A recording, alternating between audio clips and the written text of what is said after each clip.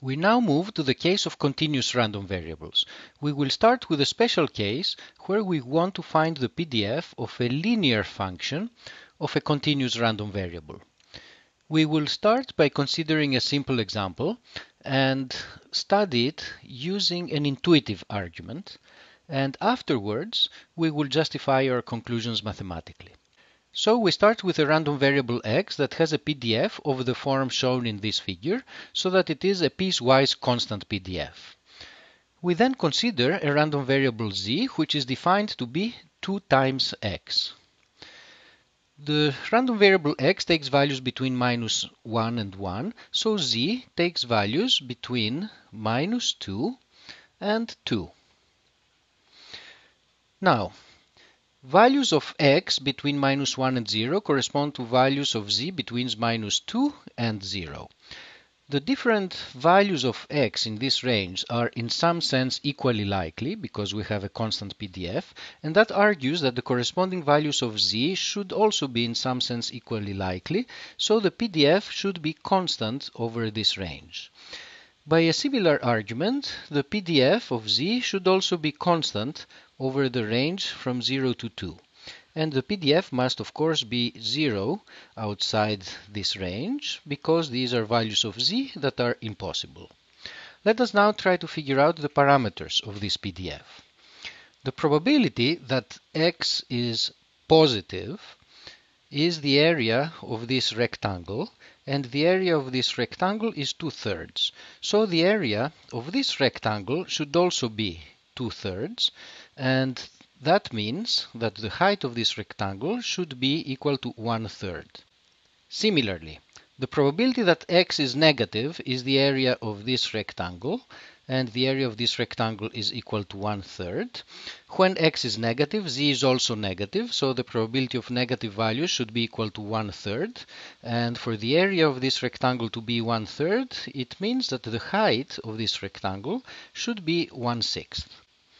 So what happened here? We started with a PDF of x and essentially stretched it out by a factor of 2 while keeping the same shape. However, we also scaled it down by a corresponding amount. So two thirds became one third and one third became one sixth. The reason for this scaling down is because we need the total probability, the total area under this PDF to be equal to 1. If we now add a number, let's say 3, to the random variable z, what is going to happen? The random variable y now will take values from minus 2 plus 3, this is plus 1, all the way up to 2 plus 3, which is plus 5. Values in the range from 1 to 3 correspond to values of z in the range from minus 2 to 0. These values are all in some sense equally likely, so they should also be equally likely here. And by a similar argument, uh, these values in the range from 3 to 5 should also be equally likely. This rectangle corresponds to this rectangle here. So the area should be the same and therefore the height should also be the same.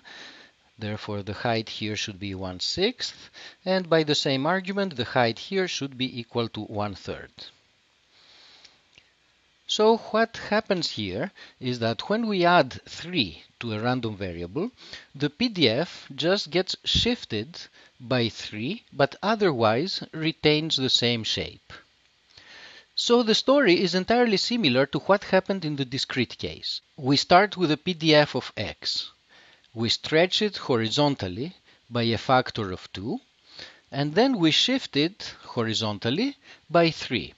The only difference is that here in the continuous case we also need to scale the plot in the vertical dimension by a factor of 2, actually make it smaller by a factor of 2, and this needs to be done in order to keep the total area under the PDF equal to 1.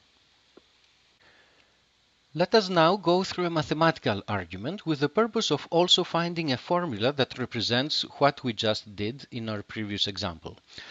Let y be equal to ax plus b. Here x is a random variable with a given PDF. A and b are given constants. Now, if a is equal to 0, then y is identically equal to b, so it is a constant random variable and does not have a PDF.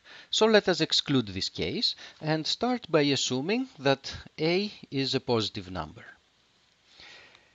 We can try to work as in the discrete case and write something like the following.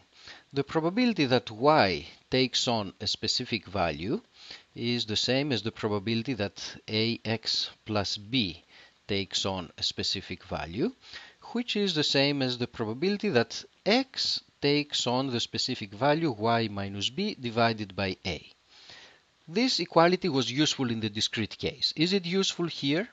Unfortunately not. When we're dealing with continuous random variables, the probability that a continuous random variable is exactly equal to a given number, this probability is going to be equal to zero. And the same applies to this side as well. So we have that zero is equal to zero, and this is uninformative, and we have not made any progress.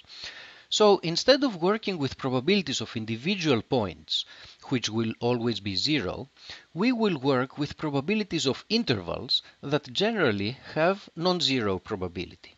The trick is to work with CDFs. So let us try to find the CDF of y. The CDF of the random variable y is defined as the probability that the random variable is less than or equal to a certain number. Now, in our case, y is ax plus b. We move b to the other side of the inequality and then divide both sides of the inequality by a and we get that this is the same as the probability that x is less than or equal to y minus b divided by a which is the same as the CDF of x evaluated at y minus b over a. So we have a formula for the CDF of y in terms of the CDF of x. How can we find the PDF? Simply by differentiating. We differentiate both sides of this equation. The derivative of a CDF is a PDF and therefore the PDF of y is going to be equal to the derivative of this side. Here we need to use the chain rule. First we take the derivative of this function and the derivative of the CDF is a PDF. So the PDF of x evaluated at this particular number. But then we also need to take the derivative of the argument inside with respect to y. And that derivative is equal to 1 over a. And this gives us a formula for the PDF of y in terms of the PDF of x. How about the case where a is less than 0? What is going to change? The first step up to here remains valid, but now when we divide both sides of the inequality by a, the direction of the inequality gets reversed. So we obtain instead the probability that x is larger than or equal to y minus b divided by a and this is 1 minus the probability that x is less than y minus b over a. Now x is a continuous random variable so the probability is not going to change if here we make the inequality to be a less than or equal sign. And what we have here is 1 minus the CDF of x evaluated at y minus b over a. We use the chain rule once more and we obtain that the PDF of y in this case is equal to minus the PDF of x evaluated to y minus b over a times 1 over a. Now, when a is positive, a is the same as the absolute value of a. When a is negative and we have this formula, we have here a minus a, which is the same as the absolute value of a. So we can unify these two formulas by replacing the occurrences of a and that minus sign by just using the absolute value. And this gives us this formula for the PDF of y in terms of the PDF of x, and it is a formula that's valid whether a is positive or negative. What this formula represents is the following. Because of the factor of a that we have here, we take the PDF of x and scale it horizontally by a factor of a. Because of the term b that we have here, the PDF also gets shifted horizontally by b. And finally, this term here corresponds to a vertical scaling of the plot that we have. And the reason that this term is present is so that the PDF of y integrates to 1. It is interesting to also compare with the corresponding discrete formula that we derived earlier. The discrete formula has exactly the same appearance, except that the scaling factor is not present. So for the case of continuous random variables, we need to scale vertically the PDF, but in the discrete case, such a scaling is not present.